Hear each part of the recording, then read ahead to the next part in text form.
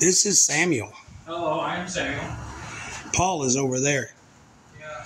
I would show you more, but Samuel's doing his design. That is going to be a pretty color, man.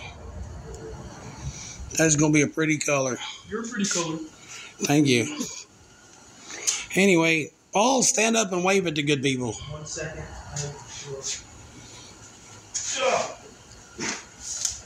Hey, That's. Paul. Yep, this is going to be a short video today because uh, Samuel's masking off his elaborate paint scheme idea, and I don't want to show it is what it is until it's painted. It is going to be a love or hate thing. But uh, this is going to be the primary color. It's going to be blue. But he's not ripping nobody off. No, it is not like any other paint job I've ever seen. Yep, it is not like any other paint job I have ever seen.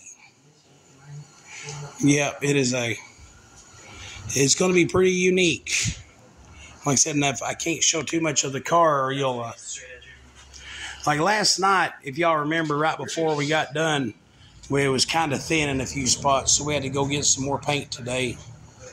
You know, to uh, it was just thin, and uh, I didn't know if it was my imagination playing tricks on me, but I did not want to take a chance on pulling it out in the sun and being able to see through it. Right. Right.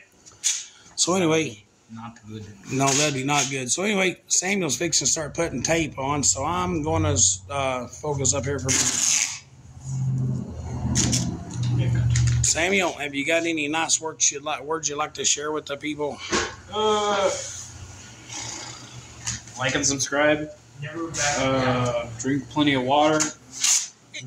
Yep. Fasten your seatbelt. It's gonna be a bumpy ride. Man, that that color's just beautiful. It Pop it. really pops. Yep, Grabs the attention. it grabs the attention. Yep. All right. Well, anyway, in the eye of the beholder, well, this really catches the They hold eye. these sick moves. my grandmother was a holder. Really? Yep. Part. Yeah, and Sisk. I didn't know we were related to holders. Yep. Headley's, my great grandmother was a half Headley, half holder. Yep. Yep. Anyway, before I wind up showing showing too much, we're going to call it a day. Thank you for joining us. Thank I want to thank everybody for following. I do.